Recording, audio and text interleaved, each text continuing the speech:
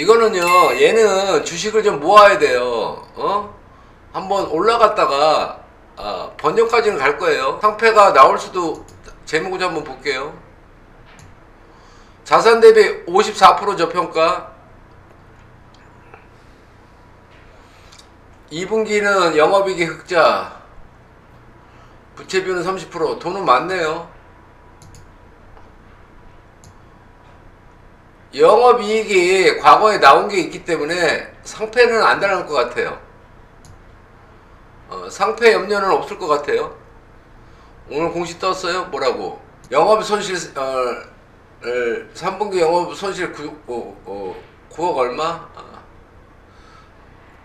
만기 예, 사, 어, 전환사채 만기 전에 취득 공시 반복으로 인해서 어, 정지는 먹을 수 있을 수 있는데요. 어, 이 재무상으로는 음, 상패당할 것 같지는 않아요.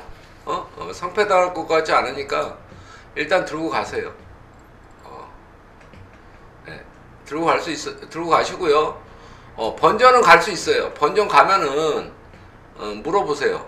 알았죠? 재무상으로는 상패당할 것 같지는 않아요. 공시 때문에 어, 불성실 공시 때문에 에, 문제가 될 수는 있어도 어, 재무 때문에 문 닫을 것 같지는 않아요. 어, 그러니까 그 걱정은 크게 안 하셔도 될 것 같아요. 일단은 저 자리는 가요. 1차적으로.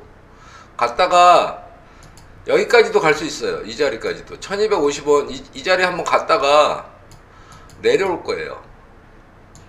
어? 어. 내려와서 본격적으로 가는 게 이쪽에서 한번 세게 칠 거예요. 여기서 한번 매집을 때릴 거예요. 어.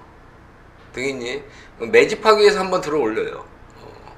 들어 올리면은 얘는 테마성으로 올리겠죠. 어. 테마성으로 올렸다가 어, 내려온 다음에 에, 매집을 때리고 그 다음에 내년 정도의 실적이 좀 좋아질 것 같아요. 이 회사가. 아, 그러니까 어, 본격적으로 하는 거 한 내년쯤에 한번 보시면 어떨까 그렇게 생각이 들어요. 자 그렇게 싸우시면 돼요.